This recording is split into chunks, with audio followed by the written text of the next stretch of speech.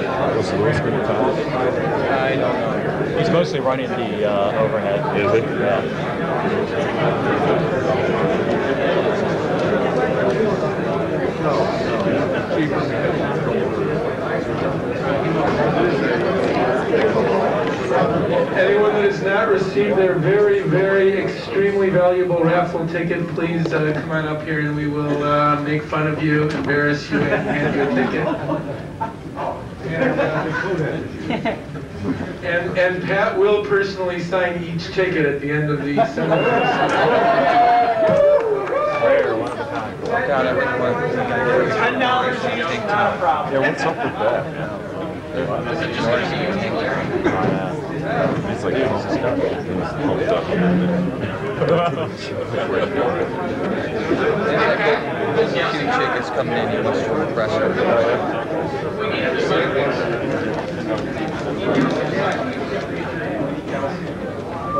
That's the wacky dude. Maybe it's just the wacky dude.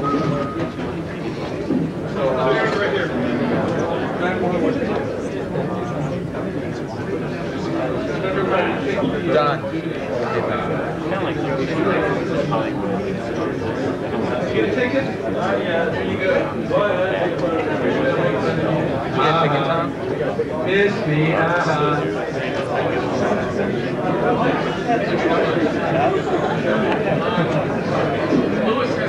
Greg, you gotta stick around. Huh? Stick around all night. Um, I've got to pick up my And where were you girlfriend leaving at nine, and we're going to get the uh, Circus Voltaire white one for the Oh, that's factory. right, yeah. For the factory to take. Oh, did I give you a direction to my house? No, no. And uh, we're picking that up, and moving it over to the house, and then we're coming back here. Oh, this is easy to get to. Yeah.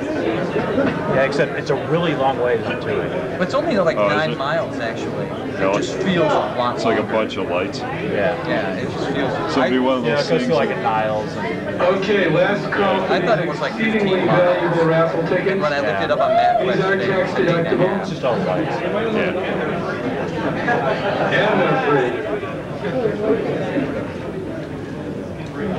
It's just one of those where you, you think you've got too You put far. okay, yeah, you did. They're all the same number. The what? Oh, the address, yeah.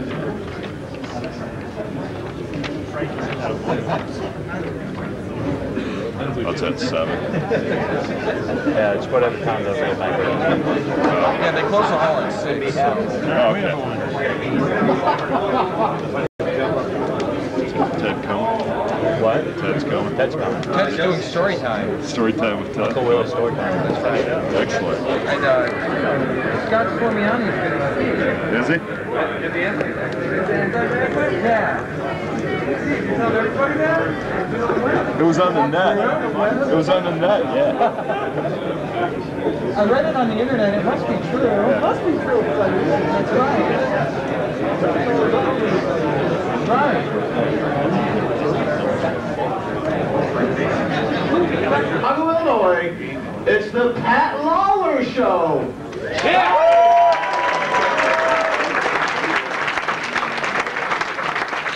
Starring our game show host, Pat Lawlor.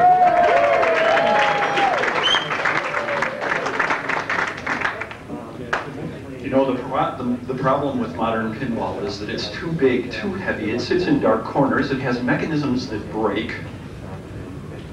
And it's not a video game. Yay! but hey, the good thing about pinball is that it's dark, heavy, sits in corners well, has wonderful toys you can play with, and it's not a video game. Thanks for coming again this year. We always try and have a lot of fun when we do the Pat Lawlor Show, and that's what this is all about, fun. You get to get together for three days and talk about uh, your favorite hobby, or maybe your second favorite hobby, or third favorite hobby, whatever it is. Uh, and hopefully you get to meet some of the people who uh, who make the games uh, and find out that we're really as screwed up as you think we are. um, uh, how many, I always do this at the beginning of the show before we introduce everybody. How many people are in the audience for the very first time this year? Wow. That is great. Give yourself a big hand. That's great.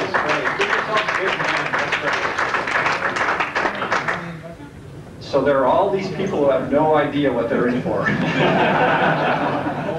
okay, that'll be fun. Um, I want to I want to start out by thanking uh, thanking uh, a bevy of people very quickly. I want to thank Rob for having us back again this year. Uh, it's always uh, a pleasure to do this.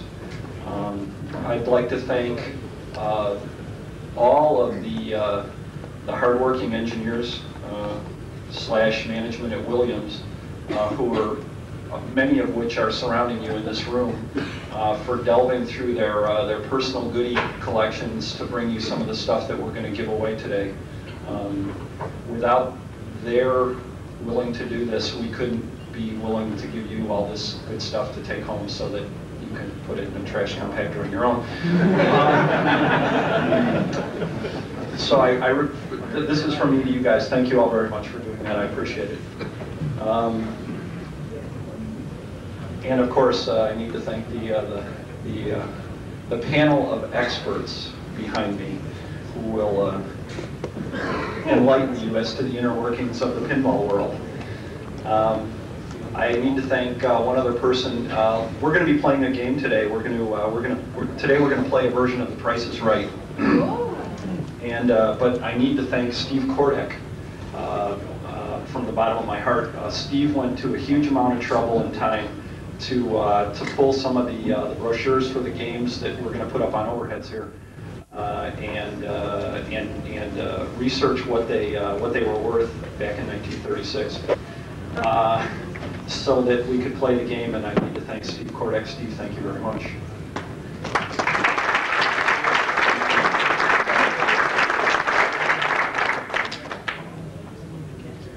Okay, ground rules. Ground rules are simple. Um, as in regards to questions, the, uh, for for the people on the panel and myself or whatever, uh, the questions. Um, uh, we, we don't answer questions about our competition because we don't know anything about what our competition does and it wouldn't be fair. Um, we, uh, we try to uh, not answer any questions about current projects that may, may or may not be being built at Williams right now. Um, probably talk to our competition about some of that. Uh, um, that's, that's, that's off limits. Uh, personal questions may be off limits. For example, if you were to say to Roger, were you in Paris when Princess Di crashed? and why were you there? Roger himself, if it had to do with pinball, might answer it. But if it didn't, it's a personal question and only he cares. Um, So those are the rules. Uh, We're going to play the prices right today. And, uh, and the way we're going to do that is pretty simple. We're going to uh, do our normal, I'm going to, to get a question from the audience. You're going to ask one of your questions. Our panel of experts is going to enlighten you about pinball. Uh, At the end of that, uh, I'd like you to remain standing. Then Roger's going to, to begin with, pull three of those magic numbers that you have in your hand. Uh, You three people are going to be the contestants in the game. The person who asked the question gets to pick one of you that he's going to kind of hop a ride with, and if you win, he wins. Okay? Uh, and then, then we're gonna then we're gonna put up a picture of a game. We're gonna tell you what year it was. The three people are going to name the suggested retail price of the game, and I want to be very clear about something. Okay? Since in this business there usually isn't a suggested retail price of a game, it's whatever somebody can get out of you for the game. Okay? What we did was we know the we know the cost of the game as it went out of the factory, okay? But I, I can't I can't just blurt that out, okay? That's something we're not allowed to do. So we took a standard markup, applied it against that, and that's what these prices are. So so I, I don't want you rushing up to me after the show, after you've lost a prize, and go, you know, I bought one of those at my distributor, and it really cost this much. Okay, so no, the, you know, when, when we're all done and said, whatever we thought it might be is, is what it is. It's because we're all here to have fun, okay? The rules of the price is right for those of you who have never seen the game show because it was like really old, but now you can see it on the game show channel over and over and over and you're sick of it. Uh, is you name the price that you think the game is sold for, okay? If you go over the price that the game sold for, Beulah the buzzer will shock you right out of the game. Okay? If you're under it, you're in the running. The person who is the closest to the suggested retail price of the game is the winner, and lovely Lewis here will give you a prize that you will, I promise, enjoy. If you have lost, if you are one of the two contestants who, who blew it, okay, you get to remain standing. We're going to pick one more number, and then you get to stand up there, and we'll keep Come on down. you. Okay, and until you, you get you get two chances, and if at the end of two chances, eh, you finally get to sit down, and you're a loser, and we'll get somebody else. Personally embarrassed by the Williams team. That's right. Now, now, please note that this game will evolve, the rules will change as we go along, so that Pat will be demonstrating to you the exact process of designing a game. And as uh, we know that the seminar is scheduled to end at 5 o'clock, uh, games never get thoroughly designed on time, so I'm sure we'll be here till 7 or 8. Hi there. Okay, uh, we're gonna. What I want to do is I want these guys to please uh, uh, uh, tell you who they are, what they do at Williams, uh, a little bit about uh, like what games or what their background is, and then we're gonna we're gonna like uh, rock and roll here. We're gonna start the show, so we can start with Lewis, please. I'm your prize coordinator for this evening. Um, my name is Louis Koziarz. I'm a programmer for Williams. Uh, my last two games were No Good Gofers and Arabian Nights.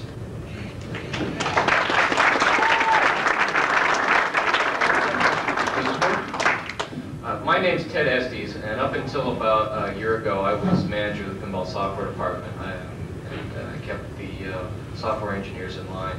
Uh, Now I've moved over to the uh, slot machine, uh, video, casino product line. Um, While those guys that I taught all I know to um, are uh, carrying on uh, the uh, pinball uh, torch. Uh, Last game I worked on with Pat was uh, Roadshow.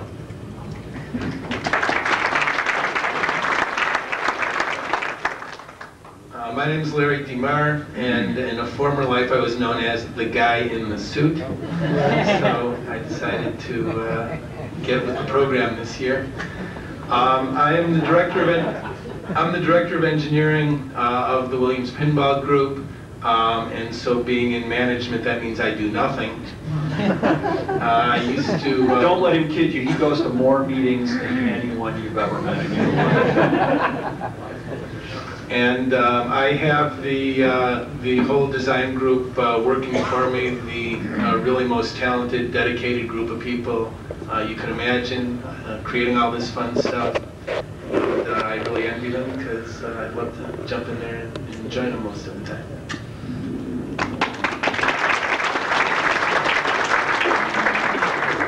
Uh, Roger Sharpe, Director of Licensing. Uh, For those who sat through last night, you know that this is just one of the greatest things for me to do, which is to sit in front of an audience, locked in. Um, Let's see, last two games I did, uh, Cyclops and Sharpshooter 2. Oh, that's my different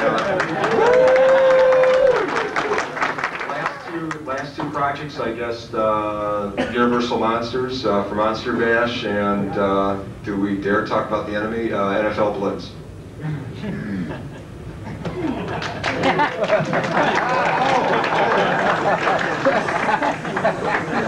I sense hostility in the crowd. Okay, with that, uh, that, that humble beginning, what we're going to do is we're going to get going here. I need to take a question from the audience, and because Roger's the most uncomfortable, make sure it's directed at him. No, I'm kidding. Sir, what's your first name? Nate.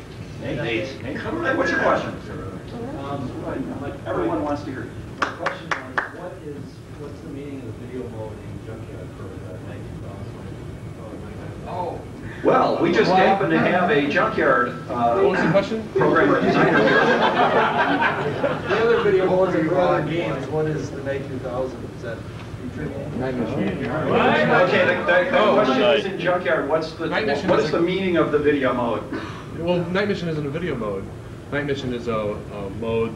It's a guess at a mode that's in a game upcoming in the future. That's that's. And since we can't talk about the future, I can't talk about the rest.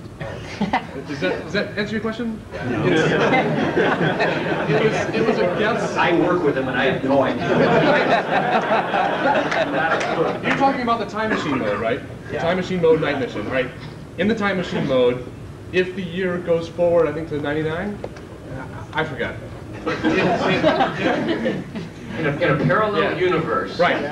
It um it stops there, and it's you pl- you're playing a mode from a game that's going to take place in '99. Maybe you think. Okay, so, It was a guess. so do our games confuse you? Okay, now what we need to do is we need three, three numbers quickly, Roger, three numbers quickly. Chris, Ross. Okay, contestant number one, what would be your guess as to the selling price of this game in 1934? I'm sorry? $39. Okay, sir, what would be your guess for the selling price of this game in 1934? 23. 23? And sir? $48? Okay, Lewis, which one of our contestants is the winner? 92.50. Okay,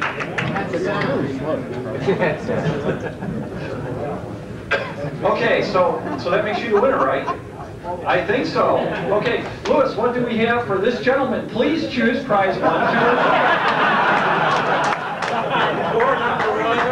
Number one.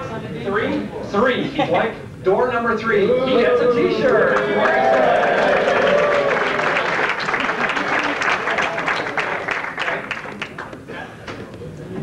And the unfortunate thing is, you're done. But it was a good question. But it was a good question, and we enjoyed it. Okay, we need a question from somebody in the audience. We need... Boy, man. Are Red and Ted married and is Rudy their kid?